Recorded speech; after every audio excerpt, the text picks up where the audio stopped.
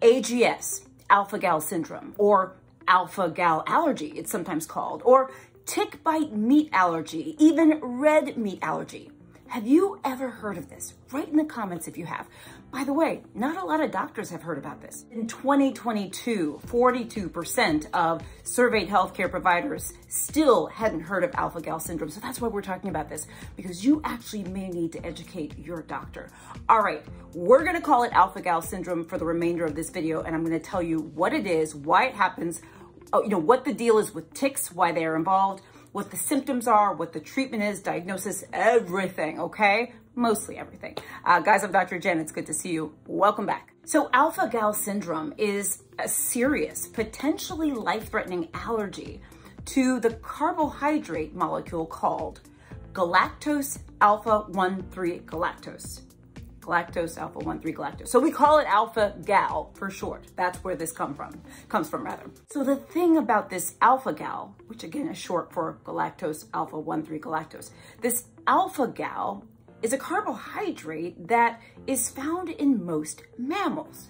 So when we say mammals, what are we talking about? We're talking about cows, pigs, and sheep, goat, deer, other game animals such as rabbit, squirrel, elk, bear, boar, um, it's not found in humans. Keep that in mind, okay? So we know that alpha-gal is a carbohydrate found in many mammals, of the ones I just mentioned, but specifically it can be found in mammalian meat, okay? So it's often referred to as red meat. So this includes like beef, pork, mutton, lamb, venison, and rabbit. The CDC includes rabbit in there. It can also be found in animal milk or dairy products, gelatin, and other products made from mammals. So that's super important. Make sure you log that in your brain, okay? So now let's go back to alpha-gal syndrome.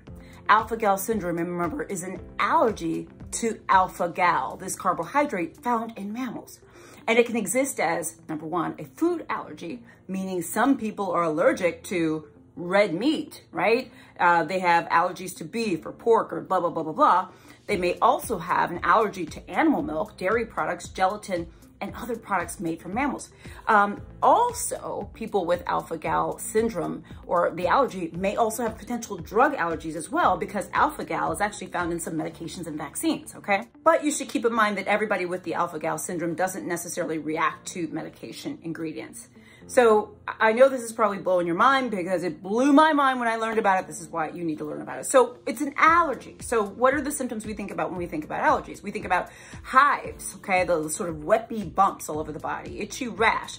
You can get a severe allergic reaction, which can cause a whole body reaction, nausea, vomiting, uh, stomach pain, diarrhea. You can get shortness of breath, cough, drop in blood pressure, swelling of the lips, tongue, etc. We're thinking like anaphylaxis, that can happen too. Dizziness, faintness, um, anaphylaxis, right? So there can be a spectrum.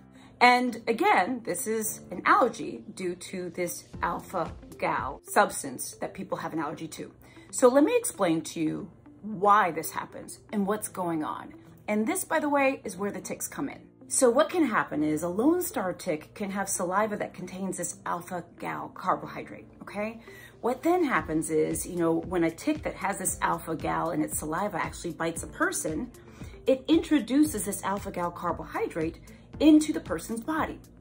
Then the person, let's say that's me, their immune system identifies this alpha-gal as something foreign and initiates an allergic immune response. What I think is really interesting though is that for many people, this tick bite uh, actually occurs weeks to months before the onset of alpha-gal syndrome symptoms even happen. So anyway, the person had, the, had this sort of immune response and had the bite. Then later on, when the person consumes red meat, beef, pork, lamb, etc., this triggers an allergic reaction due to the antibodies that were produced at the time that the person got the tick bite.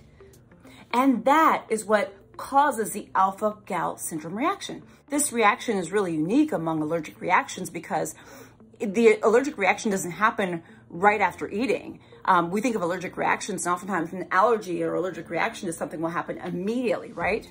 Not this one. This one actually takes two to six hours after eating to occur. The reason why is because it has to do with food. And so your body has to kind of digest that food, etc. And it takes a little time. So the reaction happens later than other typical allergic reactions. So interesting, right? Now, not all bites from Lone Star ticks result in people developing alpha-gal syndrome, okay? There's a lot of stuff that we don't know. We don't know why um, some people who are bitten by ticks develop alpha-gal syndrome and some do not. We don't fully know the role of other tick species and their ability to cause alpha-gal syndrome in the United States, but we do know that other ticks can cause it throughout the world, okay? So you say, well, how would I know if I have this? Um, and this is for doctors too. There are a few things that should sort of tip us off that maybe this could be going on. Um, if somebody wakes up in the middle of the night with allergic symptoms, okay, why that? Well, because remember I told you that it can take two to six hours after eating to develop the allergic reaction. If you're eating a burger and fries for dinner or whatever, you could absolutely be asleep when that happens. And that's not common for say other allergic reactions when you're up and doing something and you know you've been exposed and then voila, the allergic reaction happens. When you're asleep, you ain't been doing nothing, right? So, you know, being awakened with an allergic reaction really should clue us in, like, could this be going on? Also, if you have an anaphylaxis reaction with an unknown cause or an adult onset allergy, um, recurrent unexplained allergic reactions that we can't really clearly link to other allergens. And if you have allergic symptoms and you report a recent tick bite, okay? So diagnosis, please understand that there are there's blood work that we can do to take a look at this. Also, of course, the history and physical that your doctor takes is gonna be very important. It will be very important for you to make sure you're keeping track of your symptoms, the exposures, what's going on in your life, were you recently exposed to ticks, were you hiking, were you, you know, just all that kind of stuff really, really matters to us. And just understanding that in terms of treatment, the mainstay of treatment is really avoiding the, the trigger, okay? And it is that for so many allergies, right? So, you know, when we find out that this is going on, eliminating red meat from your diet, potentially uh, eliminating dairy or certain medication ingredients might be required as well. Uh, making sure that you have an EpiPen on, on hand. And then also, of course, we can't forget the obvious, avoiding tick bites, right? You want to protect yourself from tick bites because remember, they can carry not only diseases, but molecules that can trigger an allergic reaction, right? By the way, this is not an infectious disease. I should be very clear about that. This is an allergy that's um, brought on by a tick bite. Uh, your body's response to what's in the saliva of the tick, and it has a, an allergic response, and, and that's what's happening, not an infection but it still brings us to the point where you gotta protect yourself against ticks. You don't want tick bites. I have a whole video on how to protect yourself against tick bites.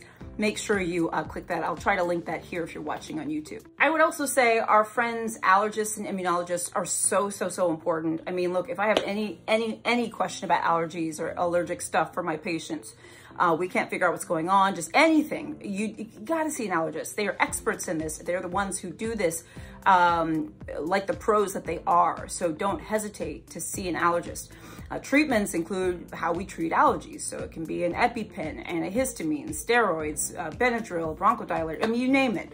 Um, this video is not to tell you how to treat it. No, no, no, no, no, no, no, no, no. I can't tell you how to do that. Only your doctor can. You got to see your doctor, okay? You got to seek medical care if you're having anaphylaxis. But just please keep in mind your symptoms, your exposures, etc., because this alpha-gal syndrome is not always something that's recognized by patients and or doctors, and I want you to know about it. Let me know in the comments if you know about this, if you've had it, anything like that, I'm Dr. Jen Caudle. Please subscribe to my channel. Click the little bell for updates. I do daily videos on everything. Please like and follow my page. Love y'all. Okay.